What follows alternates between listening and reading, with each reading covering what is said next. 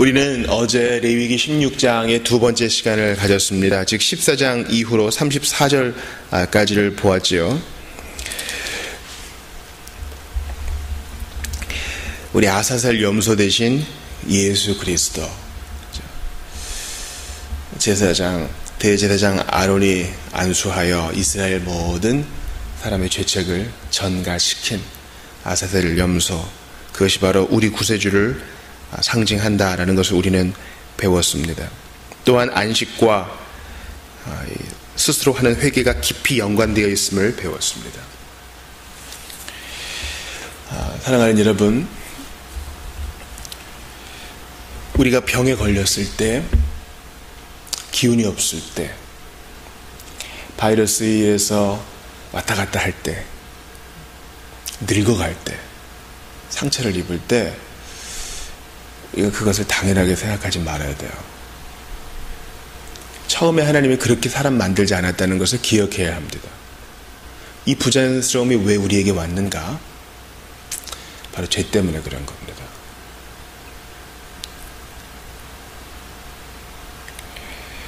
따라서 죄로부터의 안식, 죄로부터의 해방을 위해서 우리는 먼저 예수를 믿는 큰 회개를 해야 되고 둘째는 매일매일의 자백을 해야 됩니다. 그게 그것이 참된 안식에 이룰 수 있는 길이에요. 안식의 땅, 천국에서 눈뜰 수 있는 자는요, 예수 믿고 회개한 자입니다. 물론 그 믿음과 회개가 메인 커즈, 주된 동력은 아니에요. 주된 동력은 그리스도죠. 예수 그리스도. 오직 믿음과 회개로 그리스도께 연결되어서 그 은혜를 받을 수 있는 거예요. 그러려면 다시 정리를 해봅시다. 안식을 누리려면 예수가 필요한데 이 예수의 공력을 어떻게 받느냐? 오직 믿음과 회개를 받을 수 있어요. 그러므로 우리가 어제 받았던 그 교리를 깊이 마음에 새기십시오.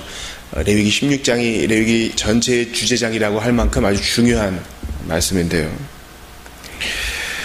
오늘 우리는 레위기 17장을 살펴볼 것입니다. 재물을 드려야 할 장소 그리고 피를 먹지 마라. 즉 도살 장소와 이 먹는 것에 대한 규례가 나옵니다. 크게 두 가지죠. 반드시 모든 도축은 회막문 앞에서 제사장 입회하여 하라 이것입니다. 상당히 번거롭죠.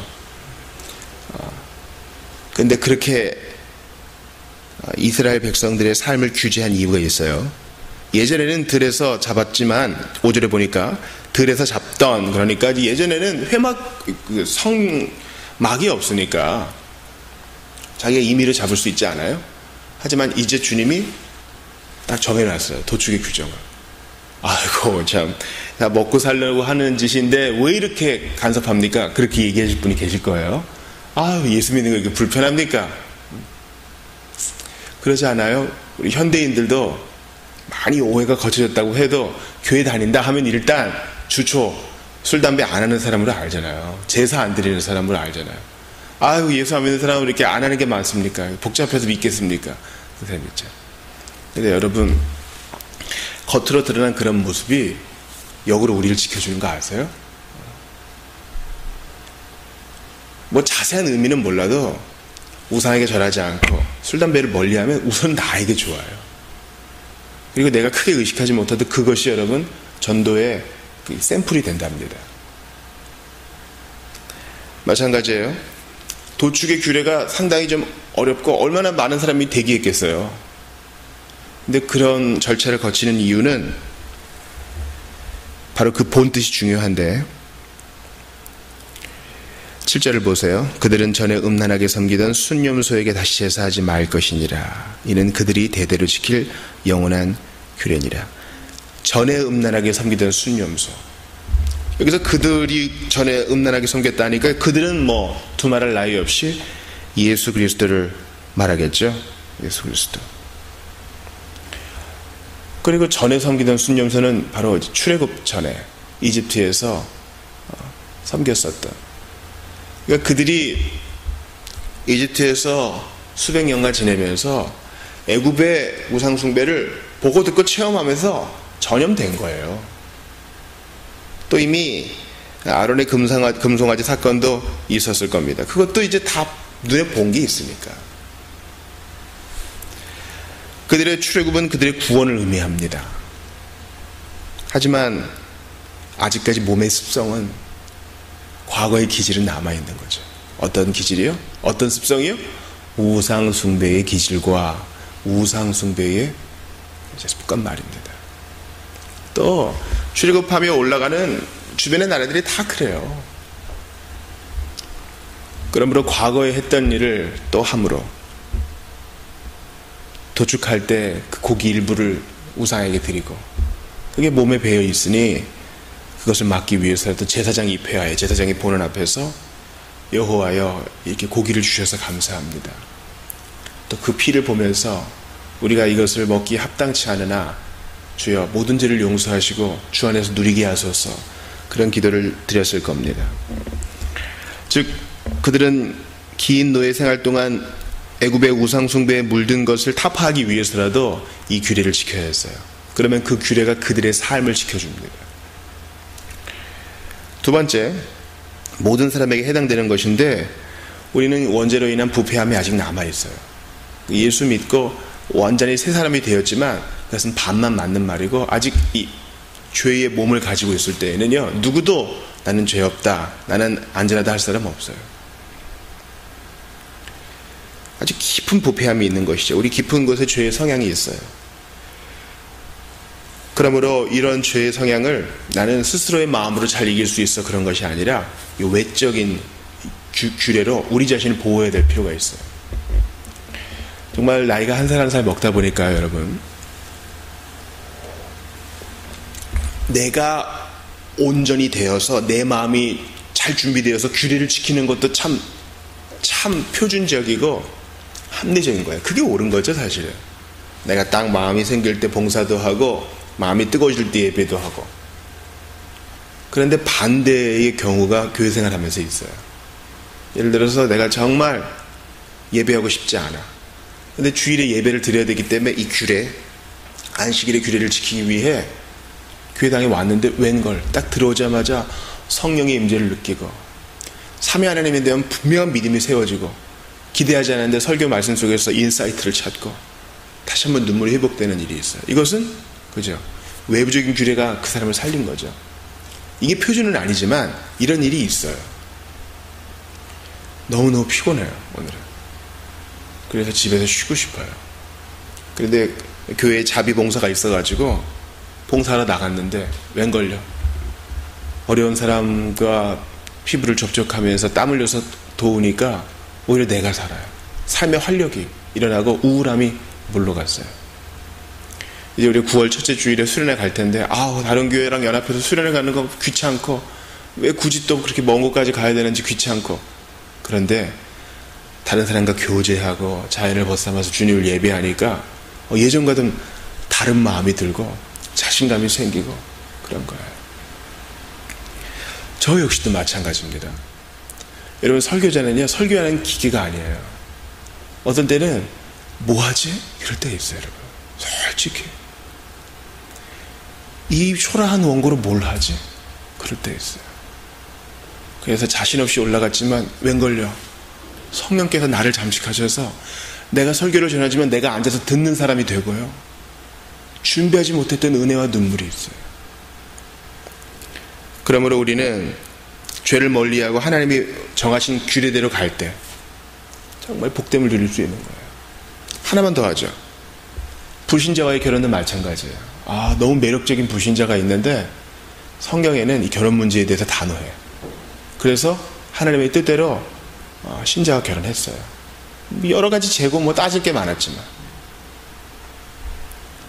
근데 웬걸요? 생각지도 못했던 복이 있고, 양가의 기도가 드디어 결실을 맺는 일이 나에 대해 일어난다는 것을 보면서 참 감사함을 느끼는 경우를 제가 봤어요. 그러면 여러분, 규리를 지킨다는 것은 매력적인 게 아니에요. 때로는 귀찮아요. 아시잖아요. 내 부모를 공경하라. 부모와 어른들을 공경하기 위해서 기꺼이 지갑, 지갑을 비우고요. 전화를 하고 찾아뵙고 이거는 사실 힘든 일이에요. 그러나 그렇게 하면 주님이 복을 줘요. 부모가 부흥으로 공개하고 싶은 마음이 생길 때까지 나는 기다릴 거야. 그것도 아니에요. 또한 두 번째 규례와 연결되는 것이 두 번째 규례가 바로 이제 피를 먹지 말라는 것이죠. 왜 피를 먹지 말라고 합니까? 왜 피를 먹는 자가 백성 중에서 끊어진다 합니까? 11절에 보니까 육체의 생명은 피에 있습니다. 내가 이 피를 너희에게 주어 재단에 뿌려 너희의 생명을 위하여 속죄하게 하였나니 생명이 피에 있으므로 피가 죄를 속하느니라. 그래서 이스라엘 자손들뿐만 아니라 함께 거하는 외국인들도 먹지 말아 했어요. 왜냐면 그것이 이제 보여지면 하고 싶은 거 아니에요. 다 사냥을 했어요. 그 따뜻한 피를 다 빨대를 꽂아서 마시든지 컵에 다 담아서 마시든지 그게 몸에 좋다는 어, 속설이 있었지만 위생적으로 좋지 않다는 얘기도 있어요. 또 그렇게 하면서 사냥을 허락해 준 우사에게 감사하는 의미 피는 내가 마시고 고기의 일부는 무사에게 드린다. 그런 일들도 당대에는 있었다 합니다. 그러므로 피를 멀리하라. 피는 죄를 속하는 것이고 피는 생명의 상징이기 때문에. 그런데 예수 그리스도께서는 이 피를 흘려야 될 자신, 이제 곧 그 피를 아낌없이 흘려야 할 자신, 주위에 모인 제자들에게 이렇게 말씀하셔요. 마가복음 14장입니다. 이르시되 이것은 많은 사람을 위하여 흘리는 나의 피 곧 언약의 피니라. 우리가 마셔야 할 피는 따로 있으니 바로 그리스도의 보혈이에요.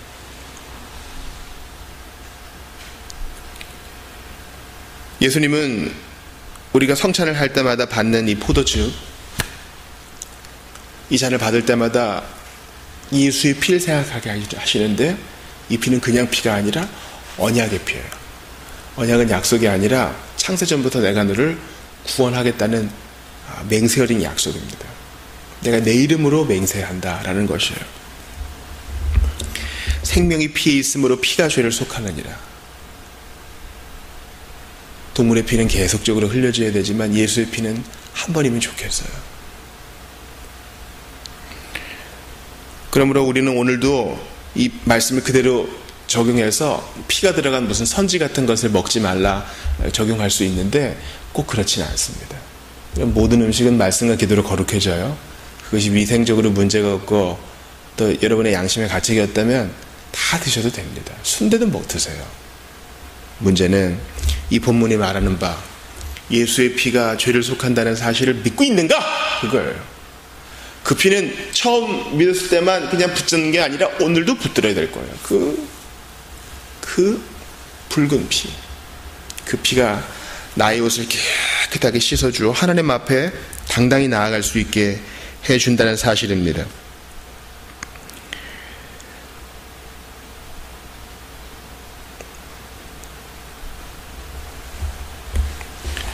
주님은 베드로전서에서 오직 그 예수의 피가 점도 없고 흠도 없는 어린 양 대신 예수의 피가 우리를 온전하게 씻어준다고 말씀하세요. 그러므로 피 먹는 것을 금한 주님의 의도를 생각해야 됩니다. 그 피는 먹는 거 아니야. 그 피는 뿌림 받아 정결하게 하는 용도야. 육체적인 필요만 위해서 먹는 거 아니야. 너의 거듭남을 위해서 너의 죄 씻음을 위해서 사용되어야 할 것이야 이렇게 얘기합니다. 그래서 어, 이피 먹는 것을 강력하게 금지하고 함부로 피를 먹는 사람은 백성 중에서 끊어진다 그렇게 말씀하고 있어요. 오늘 17장 말씀을 한번 정리를 해봅시다. 도축을 할 곳, 재물을 드릴 곳을 딱 정해놓고요. 피를 먹지 마라. 우리가 이미 레위기 16장 이전에도 보았듯이 아주 자세한 규례, 생활 구석구석에 먹고 마시는 거, 그죠? 고기를 먹고 마시는 거, 또 음료수에 대한 것들을 자세히 정하잖아요. 여러분 이러한 것들을 우리의 생활에 적용하는 겁니다. 구체적인 삶의 정황까지 적용하여 매 순간 하나님의 말씀과 그리스도를 생각하는 거. 이게 바로 그리스도를 추구하는 거예요. 하나님을 추구합니다. Pursue God. 하나님을 추구하는 것은요. 365일 24시간 예수님을 생각하는 건데요. 그것은 그저 예수님, 예수님 기계적으로 생각하는 게 아니라 우리의 지성을 헌신하는 거예요. 아, 오늘 새벽에 레위기 17장 배웠어. 아, 그래, 먹고 마시는 데서도 거룩이 드러나야 된다 그랬지? 그래, 내 생활을 돌아보고요. 아, 오늘 말씀에서 피에 생명이 있다 그랬어. 아, 그래, 예수님은 어떤 분이신가? 오늘 맥체인 성경 읽기를 통해서 또 확인해 보고, 교회에서 선물한 주석을 통해서 그것의 깊은 의미를 또 한번 생각해 보고, 오늘을 살아가는 가운데 짬짬이 또 그것을 묵상하는 거예요. 이게 바로 하나님을 추구하는 겁니다. 그리고 정한 시간, 정한 장소에서 간절히 기도하는 거예요. 하나님, 저는 눈으로 보고 경험한 대로 사는 출애굽한 이스라엘 백성과 같습니다. 나한테 익숙해진 죄의 성향들이 있는데 하나님 끊어달라고 더 간절히 기도하는 거예요. 그게 하나님을 추구하는 삶입니다. 사랑하는 여러분, 우리가 얼마나 부족해요. 얼마나 독인, 개긴, 부족한 게, 뭐, 이루 다 말할 수 없어요. 그런데 주님은 이러한 우리를 위하여 오래 참으시고, 그 아들의 예수의 피뿌림을 받기 위하여 거듭날 때까지 우리를 참아주셨고, 그 이후에도 오래 참아주셨어요. 아들의 피를 뿌려 거룩하게 구별하시고, 이제는 너는 내 것이다. 말씀하세요. 그러니 그 예수의 피, 예수의 피 생각하면서 오늘도 겸손하게 살아가십시오. 교만을 멀리하고 죄를 멀리하고 예수의 피 뿌림을 받은 자답게 거룩한 자로서의 삶을 영위해 나가시는 모든 주의 백성들 다 되시기를 바랍니다. 우리가 거룩을 회복할 때 세상이 예수를 보게 될 것입니다. 우리가 거룩을 회복할 때 하나님의 영광을 받으실 것입니다. 우리가 거룩을 회복할 때 매 순간 크고 작은 일들 속에서 거룩을 추구할 때 우리 교회가 바뀌게 될 것이고 가정이 바뀌게 될 것입니다. 기도합시다. 하나님 아버지 보배 피를 흘리사 주인 구원하신 하나님 오늘도 레위기 17장 말씀 주신 것 감사합니다. 구체적인 삶의 영역에서 주께 순종하게 하시고 범사의 예수 생각하면서 겸손과 회개의 길만 걷게 하여 주옵소서. 이 아침에 기도할 때 우리 교회 수련회를 주의 손에 맡기오니 머스트 교회와 연합하여 가는 첫 수련회 참으로 복되게 하시옵고 환자 없게 하시며 자비교회 어린이들과 장년들 또 청년들 주의 손으로 품으사 오늘도 하나님이 인도하시는 가슴 벅찬 새로운 길로만 가게 하여 주옵소서. 우리 구주 예수님의 이름으로 기도합니다. 아멘. 개인 기도하시다가 돌아가시.